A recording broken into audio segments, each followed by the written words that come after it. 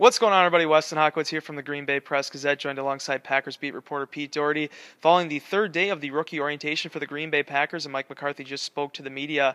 But one of the things he talked about, probably the most prevailing thing of this offseason so far, had nothing to do with the rookies, has to do with the offensive line and the shift that Brian Bulaga will be making to left tackle. Josh Sitton moving over to left guard.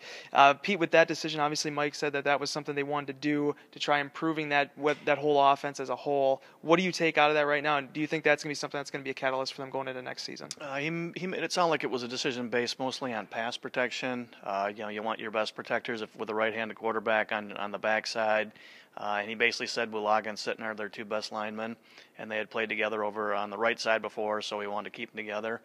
And then uh, you know, Lang will be on the at right guard and right tackle is uh, probably going to be wide open for uh, for the first couple of weeks of training camp. Yeah, McCarthy said he wouldn't address that until they actually get a chance to look at the depth chart. But obviously, you have Marshall Newhouse there, Derek Sherrod, Don Barclay, and also Dave Bakhtiari is also in there now to the fourth round draft pick.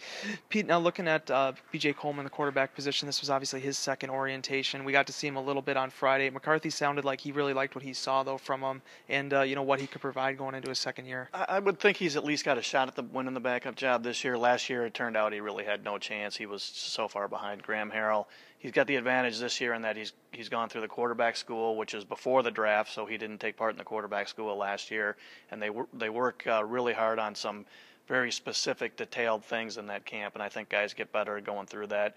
Uh, we'll see in training camp. He was, you know, he obviously looked pretty decent this weekend just because he knows so much more about what's going on than the, all those rookies. But uh, it'll be, uh, you know, when the OTAs and, and training camp is, you know, that's where the, the proof will be. One more thing to keep an eye on too: Matt Brown, the the undrafted quarterback from Illinois State. McCarthy also saying that he doesn't have any qualms about keeping him on the roster. Obviously, Nick Hill was on the roster last year. They decided to cut him, just stick with Coleman. So you still have those four quarterbacks to keep an eye on too. Pete will be writing about B.J. Coleman in tomorrow's Green Bay Press Gazette. Be sure to check that out. And until next time, for Pete, I'm Wes. We'll see you later.